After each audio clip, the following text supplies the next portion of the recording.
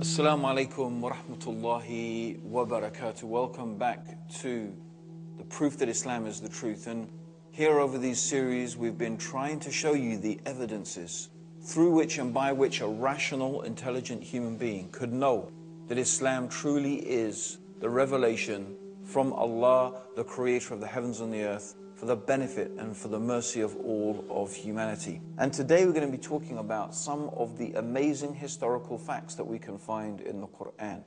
Let's remind ourselves, of course, that the Quran is a book 1,400 years old. Muslims believe it was revealed by God, the creator of the heavens and the earth. Allah is the Arabic name for God. The one God, the creator, the all knowing, the all wise. So it's not surprising to us as Muslims that the Quran should be accurate and should be consistent because it is revealed by the one who is the most all knowing, who is the all knowing, and who is the wise. So, of course, it's natural, it's normal for us, we'd expect it to be accurate and be consistent. But of course, for people today, and many people are claiming they don't believe that there's a God, or they don't believe that God sends us guidance and revelation. It remains a challenge to you. And it remains a sign, a great sign, a proof, an evidence that every Muslim through it and by it gets more certainty and gets more sure that the Quran is indeed what it claims to be the revelation from the mighty, the wise. And so let's talk about some of those historical facts in the Quran. Now, first of all, um, there is a story in the Quran about a great prophet of God called Noah. And this prophet is also, of course, mentioned in the Bible. And I'm sure you all know the story of Noah how God sent Noah to his people, and the people of Noah refused to believe in him. And because of that, God sent upon them a flood. Now, before that flood, God told Noah to build an ark. Now, there's a few things about the story of Noah in the Quran.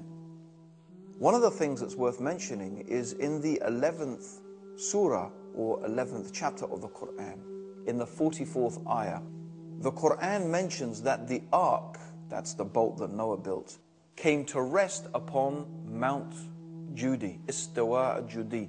Istawa came to rest upon the mountain of Judi. Now, the Quran is mentioning a specific name of the mountain where the Ark of Noah came to rest. And it's very interesting that recent archaeological research around the area of Mount Judi, in fact, there is a Mount Judi in Turkey, in present day Turkey. And on this Mount Judi, there is a bolt shaped object with exactly the same dimensions as the Ark of Noah. Now, the Bible claims that the Ark came to rest on Mount Ararat, which is in fact 20 miles away from Mount Judi. And there's a few problems with the biblical description. The first problem is that the mountains of Ararat, or the Mount Ararat itself, is a relatively recent geological formation. If we look at the time scale when the Ark of Noah was supposed to be around, the Mount Ararat did not actually exist at that time. It is very recent geological formation. So that's one problem. And also the dates and the times offered in the Bible flood and also the claim that in the Bible that the flood was a universal cataclysm. They don't fit the present day archaeological and scientific findings. First of all, of course, in scientific terms, the idea that it could rain for 40 days and 40 nights constantly upon the Earth's surface is scientifically not viable. Of course, Anyone could explain that by saying it was a miracle of God, it was an exception. Of course, we cannot argue that God has the ability and the power to do that. But what we are saying is that in scientific terms, for it to rain for 40 days and 40 nights, it's not possible. As anybody who knows how the water cycle works, the sun heats up the earth's surface, heats up the sea, and the vapor from the sea is what is transformed into clouds, and the clouds are then transformed into rain. Now, of course, if it is cloudy all over the earth's surface because of the rain, then how can the sun heat up the sea in order to produce more rain? All I'm pointing out here is that scientifically it's not viable. Also, there is simply water, enough water on this planet in order to raise the sea level so high uh, that, as according to the Bible, every single mountain peak was covered. Since Everest is the highest mountain peak today, and it still was then, the amount of water that would be needed in order to raise the sea level above the level of Mount Everest is more than there is water on this planet in order to do that. Again, we're not denying that God could do it if He wants to. All we're saying is that in scientific terms, it's very difficult to verify such a claim that the Bible makes. However, the Quran does not claim that the flood of Noah was a universal worldwide cataclysm. In fact, the Quran clearly refers to the punishment that is bestowed upon Noah and his people as being something that is specific to Noah and his people. Uh, and so, although we don't have any geological evidence for a universal cataclysm, we do, of course, have plenty of geological evidence for local cataclysmic floods. So, this is very interesting that the Quran, first of all, accurately points out that the ark came to rest on Mount Judi, and it seems that there is a very, very high probability that the bolt shaped object, and surveys have been done of it, is the remnants of a massive bolt. And where is it found? On Mount Judi, as the Quran says. As for looking for the ark on Mount Ararat, people have searched in vain for years and years and found nothing. Bible describes a cataclysmic, universal, worldwide event, whereas the Quran describes it as a local event. Again, what we find here is that the Quran is in agreement with archaeological and scientific data. It's perfectly acceptable and it's viable and verifiable according to that.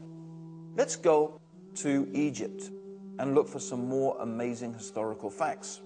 The Quran mentions the story of Joseph and Noah and the Beni Israel, the children of Israel.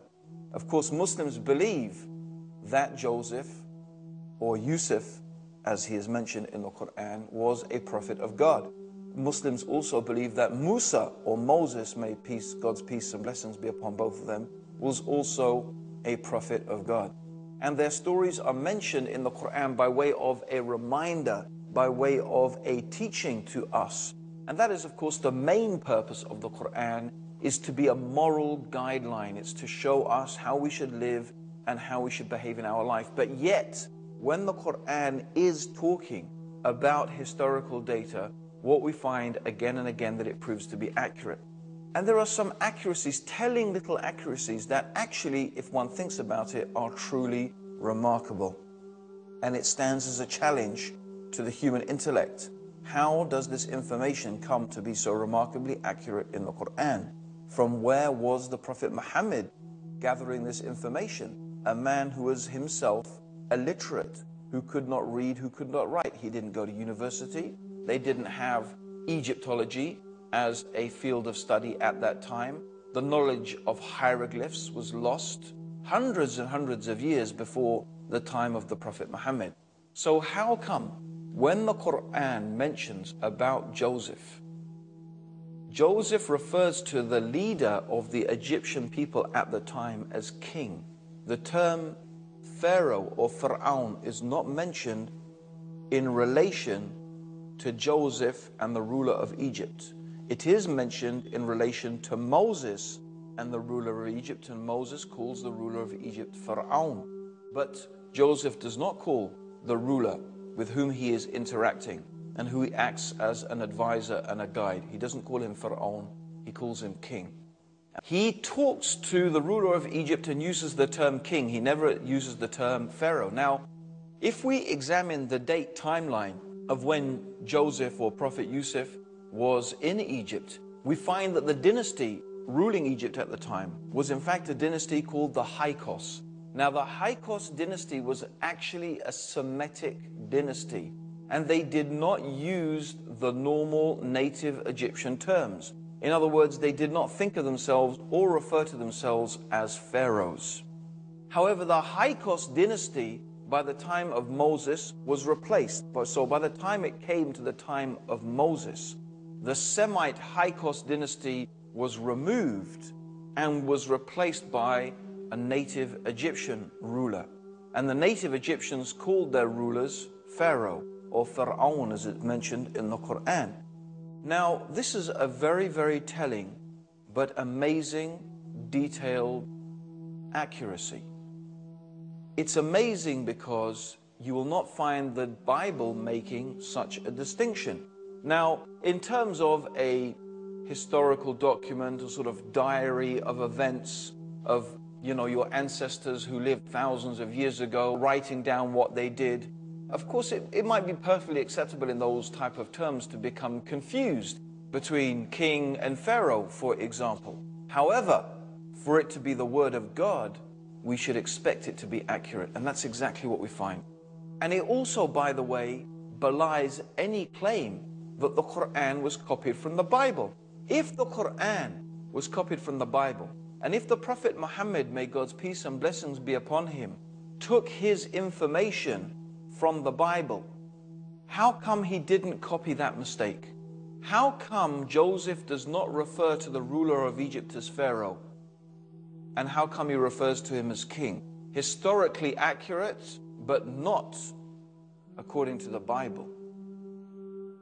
So this shows us two things. Number one, it begs the question again, how did the Prophet Muhammad get this information so accurate? Number two, there is no way he could have copied from the Bible because he would have copied the mistakes of the Bible. And let's move on now to the time of Moses for another amazing historical accuracy. In the confrontation between the great prophet of God, Moses, and Pharaoh, when Moses comes to Pharaoh and he shows him the miracles and the signs that God has given him, the staff, which when Moses throws it, it turns into a snake, and he draws his hand out and it comes shining white. In the dialogue and the discussion and the debate, we could say, between Moses and Pharaoh. One of the things that Pharaoh says very arrogantly, he says, O Haman, build me a lofty tower that I may look upon this God of Moses. Now, let's examine this. It's very interesting. Pharaoh is saying, O Haman. He's talking to somebody, a particular individual, Haman. And he says to this Haman that I want you to build me a lofty building. And the reason is, so he claims, I can look upon this God of Moses. He, he understood that God was the most high, God was above the heavens. And in his arrogance, he thought, and how arrogant that is in respect to modern knowledge that we have, that he could build a tower and look upon the God of Moses. Now, some Christians and some Christian Orientalists had pointed out that the word Haman or the term Haman is a name that is given to a Persian ruler or a Persian courtier in the Bible some 1,200 years after the time of Moses. So they said that, look, Muhammad couldn't even copy the Bible properly. He took some name from some later time in the Bible and then plunked it in the time of Moses. Well, I mean, there's a problem with that, first of all. And one of the big problems is there was no Bible in Arabic in the time of the Prophet Muhammad. May God's peace and blessings be upon him. The Prophet Muhammad, may Allah's peace and blessings be upon him, also was illiterate. He couldn't read and write. From where was he receiving this knowledge? Who was the rabbi or the priest that was feeding him all of this information? It's very hard to explain such a thing in rational terms. And certainly from all the accounts that we have of the life of the Prophet and all the information that we have with us, we don't find any such individual who could have been supplying such detailed information. And then this individual, how come he managed to get this information wrong? Again, these are not really viable hypotheses. However, it is only recently that we have been able to discover a truly amazing fact. When Napoleon Bonaparte invaded Egypt, he sent out various scholars in order to do research, and one of them came across a truly remarkable thing. It is called the Rosetta Stone. The Rosetta Stone allowed, for the first time in thousands of years, hieroglyphs to be deciphered. And the reason is, is because the Rosetta Stone had a particular inscription, a quite lengthy inscription, in hieroglyphs, a more modern form of hieroglyphs, and then in Greek. So by comparing the inscriptions, they were able to begin to translate and to decipher the hieroglyphs. Now, scholars have been working, of course, on translating the hieroglyphs, and I myself remember personally when a group of students in Cambridge University who were trying to go through some of the claims of the Orientalists that the Quran had been copied from the Bible, and their intention, of course, was to refute that. And so they went to one of these dictionary of hieroglyphical terms in order to try and find out if there was such a person as Haman in ancient Egypt. Now, although there was a lack of information in English, they did find a book in German. And looking through this book, they came across a truly remarkable discovery. Surely enough, there was indeed a particular title of a person. And this title was exactly that Haman. Now, when we look at who was Haman, what was this title? What did this Haman do? In other words, it was a position. It wasn't the name of a particular individual necessarily, it was the name of a position in Egyptian society. And what was this position? Haman is the master of the quarry of those people who build with stone. Now, isn't that truly remarkable? That Pharaoh is saying, O master of the quarry, O master of the people who build the stone, build for me a lofty tower that I may look upon this God of Pharaoh. You will not find this anywhere in the Bible. You will only find this in the Quran. The knowledge of reading hieroglyphs, as I have mentioned, was lost hundreds of years before the time of Prophet Muhammad, may God's peace and blessings be upon him. Yet in the Quran, Pharaoh is using an exactly accurate historical term. The question you have to answer is from where did the Prophet Muhammad, may God's peace and blessings be upon him, get this information? From where did he get such amazing knowledge? I think you know by now. Surely the penny must be starting to drop. Surely the cogs must be starting to line up in place. Surely the realization must be dawning upon you, if it is not already, that indeed the Quran is the revelation from Allah, the creator of the heavens and the earth, for the benefit and the mercy of all of mankind. Now, the next subject that we want to deal with is a truly fascinating subject. And it will take a couple of episodes for us to go through it. And that is called the witnessing of the people of the book. That's what I've called it. And it's also dealing with the prophecies of the Prophet Muhammad, may Allah's peace and blessings be upon him in the Bible. Now, who are the people of the book? The people of the book, according to the Quran, as they call it is as they are called Ahl al-Kitab, means essentially the Jews and the Christians. First and foremost, it means the Jews and the Christians. They are Ahl al-Kitab. Why? Because they have a scripture. The Jews have the Torah, the Christians have the Injil, or combined together, it's what we know as the Bible. Now, there are some other scriptures, of course. For example, the Jews do have other scriptures called the Talmud. And for the Jews, that is a very important collection of documents. And ancient Christians, before the time of the Council of Nicaea, which is, was held about 345 years after the time of Jesus, when the Gospels we know today as Matthew, Mark, Luke, and John were canonized and formalized as being part of the Bible. In fact, it's important to understand what does the Quran teach about the Bible. The Quran teaches us that the Jews and Christians have scripture with them.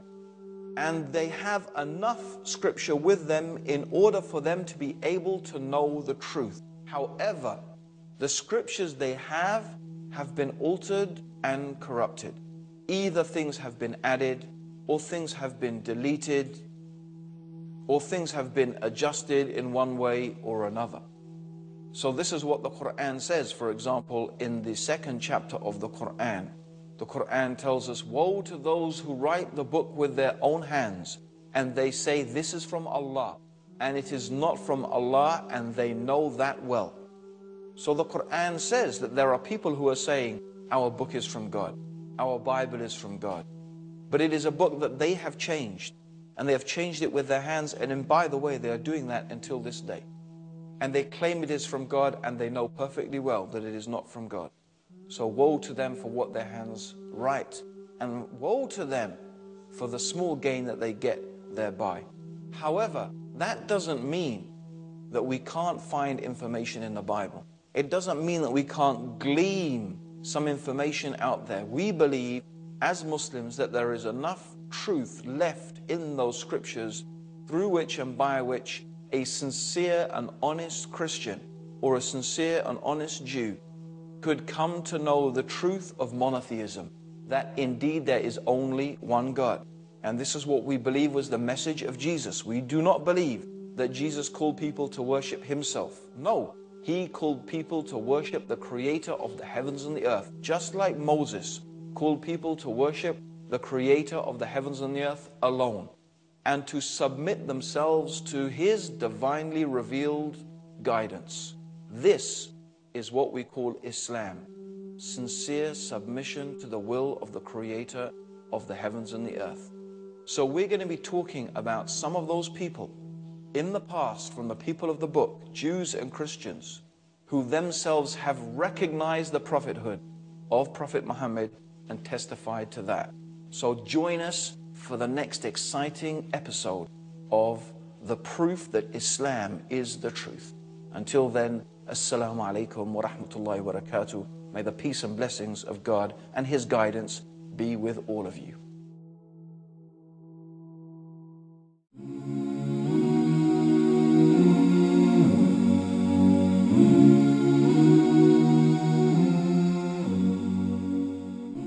Are you tired of all these annoying ads on YouTube?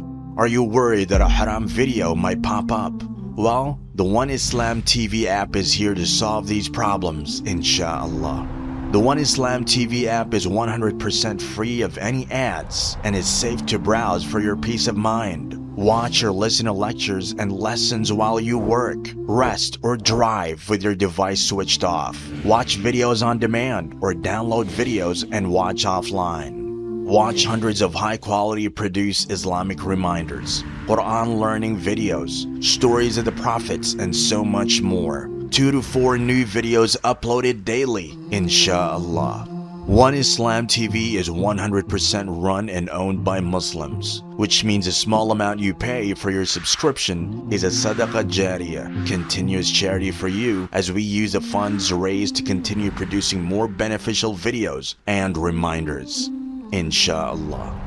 The One Islam TV app is now available on Apple devices, Apple TV, Android devices, Android TV, Amazon Fire TV, and Roku, so you can watch on most devices and smart TVs. Download now for a free 7 day trial. May Allah reward you for supporting our work.